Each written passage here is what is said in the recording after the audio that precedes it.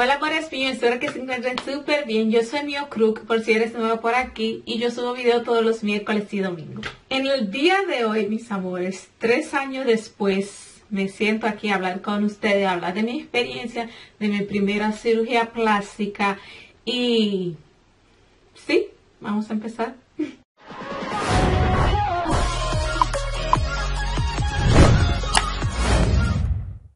Como ya le dije, chica, tres años después aquí estoy sentada hablando con ustedes. De verdad que yo no quería grabar este video porque como yo le dije, mi cirugía fue un fracaso, no fue lo que yo esperaba. Como que me encerré en mi mundo, en mi mundo y nunca quise hablar de eso. Una prima mía me dijo que estaba pensando también hacerse lo mismo que yo me hice, que fue un levantamiento con implante y ella me preguntó que me dijo que contara mi experiencia en YouTube y yo le dije, ay, yo no creo que yo hable de eso porque no sé, como que no me siento bien hablando del tema porque fue un fracaso. Ustedes saben cómo somos nosotras con nuestro orgullo. Pero aquí estoy yo, ustedes son mi familia y yo pienso que yo sí debería, debí de grabar ese video antes porque a lo mejor hay muchísimas chicas que están pensando o que ya se operaron hacerse el mismo procedimiento que yo me hice y quizá también le pasó lo mismo. Tengo una amiga aquí en Alemania que le pasó exactamente lo mismo. Se hizo una cirugía, un levantamiento, le pusieron los implantes mal y unos meses después los senos volvieron la caída. Le cuento un poco de mi historia con mis senos. Yo siempre he tenido, yo vengo de una familia de parte de madre, todas son tetudas, tenemos muchos senos entonces, pero usted sabe que la gravedad no ayuda. Yo siempre, desde siempre, yo dije, ay, me gustaría algún día hacerme un levantamiento de seno, me llamó mucho la atención hasta que me decidí. Estuve buscando por unos meses, como que algunos tres meses, buscando cuál era la mejor opción, cuál era el mejor doctor, leyendo mucho sobre el tema y en el 2017, en octubre de 2017 decidí operarme. Yo me enfoqué, yo me operé en República Dominicana, en mi país, ¿saben? La diferencia de los precios de aquí es un poquito más económico, pero al final yo gasté lo mismo, porque con ticket y todo, al final casi se gasta lo mismo. Yo me enfoqué demasiado buscando como en mi país hay muy buenos doctores cirujanos plásticos, también han pasado muchísimas cosas, muchas mujeres que se mueren en la cirugía, y ustedes saben como que ese tema de cirugía es un poco controversial, y yo me enfoqué demasiado buscando un buen doctor. Ese era mi enfoque. Yo estaba buscando un doctor que sea que se especialice en seno, que ese sea su fuerte, los senos, y que sea bueno, que tenga buena recomendación, que no se le haya muerto ninguna paciente. Eso yo me enfoqué y me olvidé de, de leer, de leer. Yo no leí como que nada, yo no, no sabía. Después que me operé fue que yo supe que cuáles eran las opciones de implante, que son, son tres, la tengo aquí escrita y le voy a enseñar. También le voy poniendo foto de mi historia. La subglandular, la submuscular y la subfacial. Glandular va por encima del músculo y por debajo de las glándulas. El submuscular va por debajo del músculo, debajo del músculo. Ahí le voy a ir mostrando imágenes. Chicas, yo tengo los implantes subglandular que son por encima del músculo y la opción que sería perfecta para mí por mi tipo de piel, sería la, submuscular, aunque es una cirugía bastante dolorosa, bueno, no bastante, sino más dolorosa que la otra. Este, esa sería la opción perfecta para mí, algo que yo no sabía después que me hice la cirugía, fue que yo me, me enteré de eso porque yo me hice un levantamiento. Cuando uno se hace un levantamiento, la subglandular, los senos se ven más bonitos porque ellos toman su forma natural. Usted se pone su implante y ellos va cogiendo la forma natural de su seno, pero como yo me hice un levantamiento, eh, los siliconas me pesaron mucho, aunque no son tan grandes, yo tengo 295, 395 cc, son bastante pequeñas, y yo me hice levantamiento, incluso tengo una talla más pequeña que la que, la que yo tenía anteriormente. Entonces, el, el peso del implante hizo que mi seno otra vez volviera como estaban antes, no tanto, pero más o menos así. Así que, mire, así que lamentablemente después, eh, los, después que me puse los implantes, después de tres meses más o menos, ya mi seno, tres o cuatro meses ya iban cayendo, iban cogiendo una forma muy bonita, natural, pero fueron cayendo, cayendo, cayendo, cayendo, cayendo demasiado y eso fue también por el peso de los implantes. Por coincidencia yo tenía que regresar otra vez a mi país. Mi operación fue en octubre del 2017 y yo viajé en abril del 2019, andaba con mi esposo y con unos amigos y yo aproveché para consultarme otra vez con el doctor y decirle que yo no me sentía feliz con los resultados de la operación y él lo que me dijo fue que, que él no se imaginó que mi piel iba a estirar tanto. Que si él se hubiese imaginado que mi piel estira tanto, entonces me hubiese puesto eh, los implantes por debajo del músculo, porque cuando están por debajo del músculo no se muere. Pero él me dijo, sí, es una operación, eh, duele mucho más que la anterior y pero esa es la mejor opción para ti. Entonces si tú quieres te volvemos haz una cita y te volvemos a operar. Y yo le dije no no no yo no me quiero operar ahora porque yo yo quiero tener hijos. Ya tampoco no es que me moleste tanto de cómo está mi seno pero ya yo voy a esperar eh, tener hijos y entonces yo regreso donde usted y vuelvo y me opero. Porque si yo me voy a operar yo dije que sí que lo iba a hacer. Y lo voy a hacer otra vez con él porque de verdad que el doctor es muy bueno. El doctor, el doctor de verdad es una persona bastante responsable. Siempre me escribía, nos escribíamos. Eh, siempre se preocupaba por mí, la secretaria, siempre ah, cómo va, cómo va todo. Y la atención en esa clínica, yo no me acuerdo mismo cómo se llama la clínica, pero se lo voy a escribir aquí. Eh, que yo me operé, la atención fue de verdad que yo me sentí bastante segura. Por eso yo lo digo, yo sí volvería a operarme con el mismo doctor a pesar de que él cometió ese error. Mis amores, déjenme ir en serio. Muy bien para yo estoy en bikini. Bueno, aquí se ve mi seno. Eh, antes yo no podía usar ese tipo de escote porque mi seno yo lo tenía grande, pero entonces mis senos se quedaban como que aplatados, así como aplatados. No sé si me entienden, pero ahora, aunque los senos están caídos nuevamente, por lo menos yo tengo volumen y sí puedo usar ese tipo de, de bikini, porque eso es un bikini, puedo usar ese tipo de bikini y de sostén. ¿Cómo fue el proceso de mi cirugía y cómo fue el proceso de recuperación? Chicas, yo de verdad que no, no, no tengo queja. Yo no sufrí ni un día de dolor. Mucha gente, bueno, yo pienso que eso depende de, de cuánto tú toleres el dolor, pero yo no sufrí ni un día de dolor. Me dijeron mucha gente que yo no podía, iba a poder caminar, que iba a tener que caminar así. Y sucesivamente, pues yo me operé, me quedé un día en la clínica, mi amiga se quedó conmigo y eso fue todo como que bastante rápido. Yo llegué a la clínica como que a las 8 de la mañana, no más temprano, como que a las 7 de la mañana. Yo tenía que estar ahí sin comer en ayuna.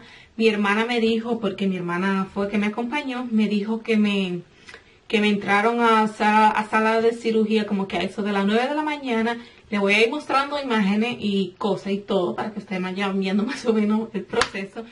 Y me sacaron 9, 10, 11, 12, como que a las 12 me sacaron. Pero la, la, operación duró solamente como que 2 horas y 30, pero ellos te dejan ahí en esa habitación hasta que tú despiertes de la anestesia.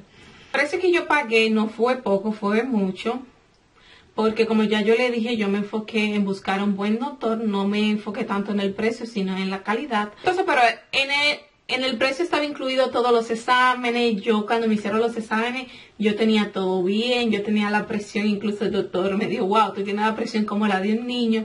Todo estaba bien, me dijeron, sí te puedes operar, tú tienes todo bien. Y yo soy una persona, chicas, yo no sé si yo estoy loca o qué, pero yo no le tengo miedo a la cirugía, yo no le tengo miedo a la anestesia. Yo, ya me han puesto anestesia, a mí me han puesto, a mí me han anestesiado déjame ver, una, dos, como cuatro, cinco, seis veces completa. Y yo digo siempre, wow, cuando yo me despierto de la anestesia, yo me siento tan bien. Es una cosa que yo no la puedo explicar. La gente me dice, hey, tú estás loca. Yo me siento tan bien, yo me siento tan relajada, tan descansada cuando yo despierto de la anestesia. Y así que yo no tenía nada de miedo, yo estaba como que feliz, yo estaba como que antes wow, me voy a operar por fin, así, le voy a mostrar un chin de un videito por ahí. Cuando yo me desperté de la anestesia, yo, el doctor que me operó es un doctor muy bonito y yo me operé, yo me desperté preguntando por él, que si él me había... Ay, risa, voy a poner un ching del video. ¿Cómo fue? Pero para está privado. Nada, mis amores. Y la cicatriz que me hicieron fue una cicatriz bastante grande porque a mí, como yo le dije que era un levantamiento, a mí me cortaron el pezón, me hicieron en T, la que se llama la cicatriz que es así en T. Esa fue la que me hicieron más el pezón, pero la cicatrización de verdad que fue muy bien, aunque se me rompieron unos puntos aquí que todavía tengo esa marca, no es que la más bonita del mundo, porque ese día, después de unos días después, a mí me tocó viajar y yo viajé con dos maletas solas y en el avión, usted sabe, movimiento con maleta, uno tiene que guardar reposo total, ni mover mucho la mano, ni subirla para que no se te abra los puntos. Yo cometí ese error de, de viajar sola con maleta, entonces como que se me, se me abrió un poquito la cicatriz ahí. yo, a mí me dieron de alta eh, un día después, yo me quedé una noche en la clínica, un día después me fui a la casa, ya me dijeron que no me podía bañar, yo me daba medio baño, me dijeron que tenía que tener una persona que me ayudara, yo lo hacía sola, yo podía, yo me sentía bien, me dejaron una sonda aquí en los dos lados para, para, para el drenaje y era un poquito incómodo, eso fue bastante incómodo, pero lo único, lo más incómodo, lo única queja que yo puedo decir, el único dolor que yo sentí fue la sonda, sí. A mí me pusieron una sonda por un día, porque supuestamente al doctor después de hacer operaciones no le gusta que la paciente, la paciente, la paciente se mueva para ir al baño y todo eso. Me pusieron una sonda para hacer pipí y eso fue lo peor del mundo. Era un dolor bastante incómodo, como que de mal de orina y para el colmo ya me iba a llegar el periodo. Ustedes se imaginan como que esos dos dolores juntos. Y cuando me la sacaron, uff qué dolor, qué incómodo, no tanto dolor, sino como que incomodidad. Eso fue lo único que yo puedo decir que, que la pasé mal en ese aspecto, pero después también otra cosa que yo sí sentí que me molestaba mucho era la picazón. A mí me daba una picazón que ya, incluso un día yo estuve a punto de llorar y decía, ay, ya no aguanto más. Me picaba muchísimo los senos, pero yo compré esto me puse a leer en internet que, que yo podía comprar para la picazón y esto. Yo compré eso, es como, es como una, es como una loción transparente que sirve para, para eso, para alergia, para quemadura del sol, para picadura de insectos y para todo eso. Mi mamá me la compró, me la trajo de la farmacia, yo estaba todavía en Dominicana y eso me ayudó muchísimo a controlar la picazón porque era una picazón terrible. Eso, eso fue lo único, la zona y la picazón fue lo único malo que yo tuve. Después, como yo me había ido para Samaná, yo no podía, los primeros, los primeros 10 días yo me quedé en Santo Domingo y me hacían limpieza cada tres días. Yo tenía que ir donde el doctor y me limpiaba. Pues después yo me fui para Samaná, sino que él no quería que yo me fuera. Yo dije, sí, yo me voy para Samaná, quiero estar un poco allá con, a ver a mi papá que no lo había visto. Cuando yo llegué allá, yo compré, ella me dijo, la enfermera, la secretaria, la que trabaja con él, me dijo todo lo que yo tenía que comprar. Así que yo armé mi kits, yo compré todos mis medicamentos y yo me hacía mi limpieza. Yo, nadie me, todo el mundo en mi casa, ¡ay! yo me hacía mi limpieza, yo cogía un espejito ahí y yo me limpiaba, yo me curaba sola, hacía todas mis cosas sola, sin miedo, sin dolor y sin nada. Es una mujer fuerte, bastante fuerte. Otra cosa que, que tengo que decirle, cuando yo llegué aquí a Alemania, como le dije, por la maleta y todo eso, se me abrió ya. Yo no tenía punto, pero se me abrió, se me hizo como un abierto aquí abajo y eso me puso súper, súper mal. Yo me puse a mirar en internet, ustedes saben, no miren en internet y se le ven tantas imágenes feas y yo dije, ay Dios mío, yo ahora aquí en Alemania y con eso aquí abierto que no me puedo consultar ni nada. Yo me sentía súper, súper nerviosa. Entonces, eh, yo me había traído un polvito que lo tengo todavía por aquí. Ese polvo es el final. Te saca, te sana. No sé dónde lo tengo exactamente, lo estaba buscando, no lo encontré. Pero le voy a poner una imagen aquí. Yo me puse ese polvito tres días, exactamente tres días. Y se me cerró la la cicatriz, el, el abierto que tenía del punto se me cerró de una vez, así que ya yo me sentía como que nueva, sin dolor, la no la pasé mal aquí después que llegué, eh, todo bien. Otra cosa que tengo que decirles, chicas, también, eh, después de la cirugía, yo también me sentí un poco frustrada, porque yo siempre le pedí al doctor, ay, doctor, por favor, que no me queden los, los pezones disparejos o que no me quede una más grande que la otra. Por favor, hágame todo para que no me quede así.